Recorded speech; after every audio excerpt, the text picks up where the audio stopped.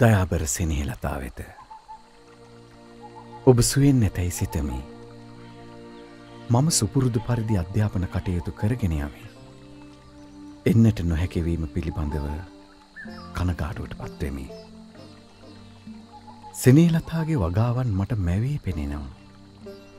ඔයාම වවපු එලවලුවක් සමඟ බත් කටක් කන්නට ඇති ආසාාව ඉහටත් උඩින්. මඩ තවාලු වී වගාව දිගටම කරගෙන යන්න පුළුවන් හැටියට.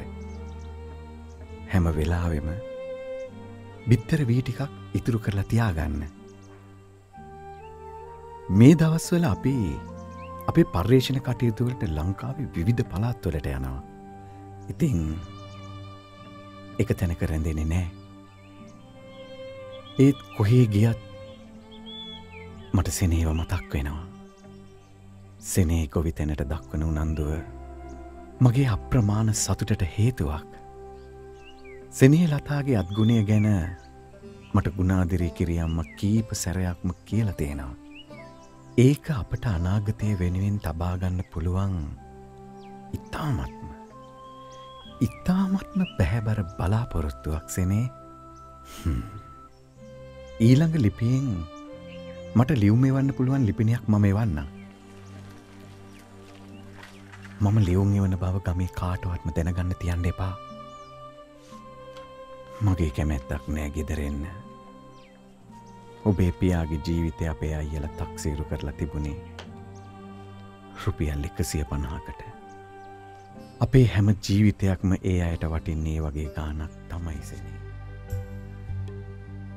සල්ගස් තැන්න නම් ගම්මානය ගැන ලෝකයා වැඩිමනත් දැන සිටියායයි නොසිතීම උසාවක් නොවේ.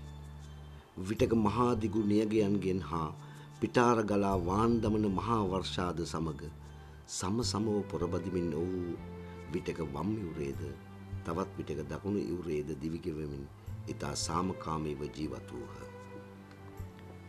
කෘෂිකර්මාන්තය මූලික කරගත් සල්ගස් තැන්න නම් බෞද්ධ ග්‍රාමයේ ඉඳහිට විසිදල් ගසා ජීවත් වුණු ගැමියෙක්ද නොසිටියා නොවේ.